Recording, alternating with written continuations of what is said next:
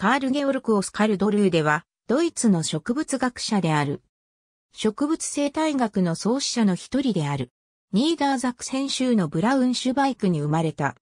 コレギウム・キャロリヌムで自然科学を学んだ後、1871年からゲッティンゲン大学で学び、植物地理学のパイオニア、アウグスト・グリーゼーバッハの助手として働いた。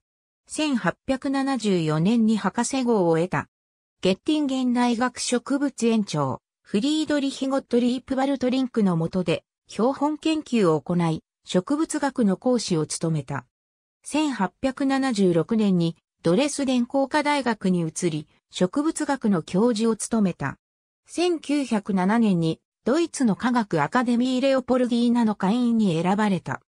グリーゼバッハとドルーでの著書の植物区分のズドレスデン工科大学が単科大学から総合的な大学に変渡時、自然科学教育の分野の改変に貢献した。1889年に現在のドレスデン工科大学植物園を農学者のシュテグリヒと共に創立し、植物の栽培試験場として機能を持たせた。1895年にザクソン科学アカデミーの循環員、1907年に会員となった。